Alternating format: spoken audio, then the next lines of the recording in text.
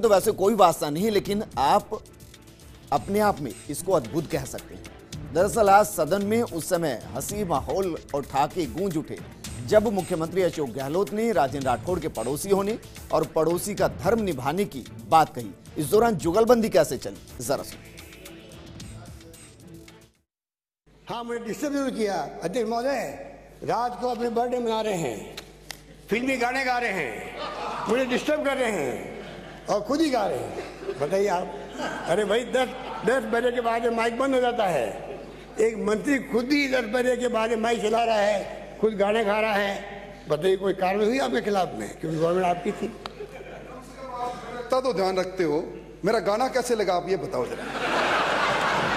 उस पर दो शब्द कह डालो मुख्यमंत्री जी। दो शब्द। अब मुख्यमंत्री को ले देते नहीं है। पर आप कोई ताक जाग क्यों? ये शिकायत है मेरी। आप देखिए मुझे मुखड़े जा देते नहीं भैया वो चाँद का मुखड़ा कोई था तुम्हारा?